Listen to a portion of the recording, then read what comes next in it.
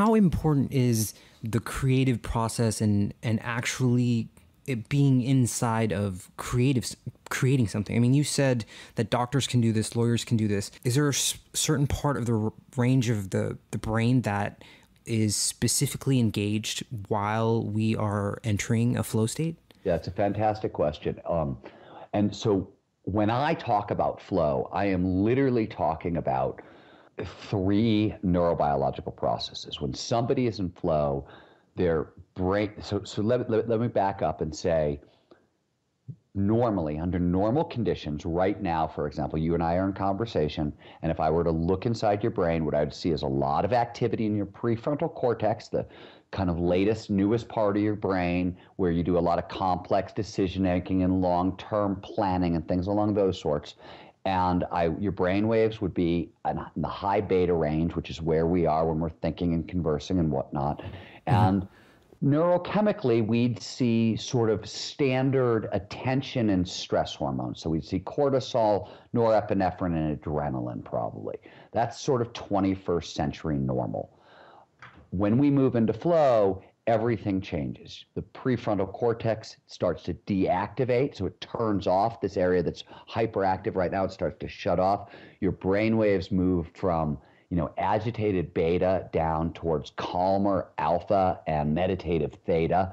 And the stress hormones get flushed out of your system and they're replaced by feel good performance enhancing neurochemicals like dopamine, serotonin, and anandamide and endorphins and such. So there's a there's when I'm speaking about flow, I'm talking about a very specific shift in neurobiology that accompany those seven phenomenological characteristics I talked about earlier. Phenomenological is just a fancy way of saying this is how these things make, this is how this experience makes me feel. So this takes away the 10% of our brain myth, right? Yeah, so the, it's a it's a funny it's a funny thing, and it's actually one of the things that's kind of steered a lot of this research sideways for a long time. But way back at the turn of the century, a psychologist, a Harvard psychologist named William James, made a speech. What he said was misinterpreted, and it became what you referenced the 10% brain myth the idea that, hey, I'm only using 10% of my brain at any one time. So ultimate performance, AKA flow, must be my full brain on overdrive. And it turns out uh, we had it exactly backwards. When we achieve states of ultimate performance, our brain doesn't become hyperactive, it becomes hypoactive, H Y P O. Wow. It's the opposite. It starts to deactivate, it wow. shuts down. So, you know, another way of putting this is, you know, we, we've, we've all heard Huxley's famous phrase, you fling open the doors of perception. well, it turns out, actually, no, they're shutting down on a certain, wow. on a certain level. It's, we're going in the opposite direction.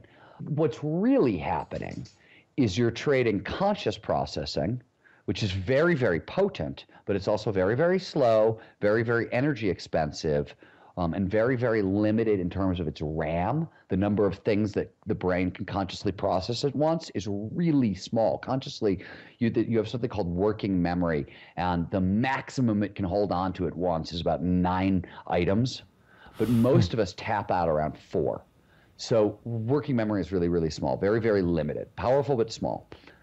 When we hmm. swip over to the subconscious, you're it much much faster two two to five thousand times faster than conscious thought extremely energy efficient and unlimited ram. We literally don't have any idea what the carrying capacity the storage capacity of the subconscious actually is at this point. So you know researchers refer to it as essentially infinite because we can't come close to finding a limit this is shocking to me. I'm blown away. I so you're saying that the brain actually is shutting down the the regions that make you kind of think of yourself as yeah, unable me, to do something. Let me give you a let me let, let's put it in more concrete terms.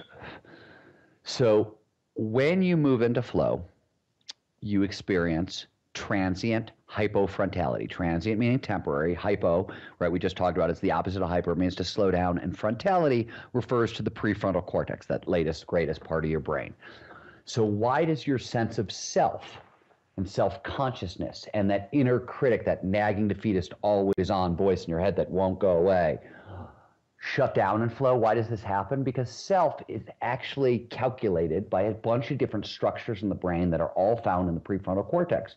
So as parts of it start to shut out, shut down, you can no longer perform this calculation. That's the same thing why does time pass so strangely in flow? We've all had the experience of you know getting into that great conversation and an hour goes by and you think it was two minutes. Why does that happen? Because when you go into that conversation you're the focus that is required what you're really looking at by the way is an efficiency exchange. Mm-hmm. the brain has a fixed energy budget. So when you're putting all your energy into focus and attention and being right here right now in the present moment mm-hmm the brain deactivates non-critical structures to save energy and be able to give you more energy for focus and attention. It's beautiful. So when that happens, the prefrontal cortex starts to shut down. That's where your sense of time goes. Time is calculated all over the prefrontal cortex. As parts of it wink out, we can't separate past from present from future, and we're plunged into a state that uh, people talk to. Philip Zimbardo at Stanford calls the elongated now or the deep now.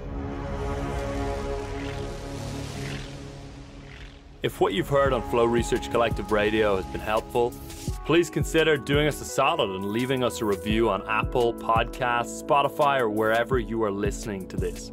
Reviews help us connect to a wider audience so we can get these peak performance principles out to more people.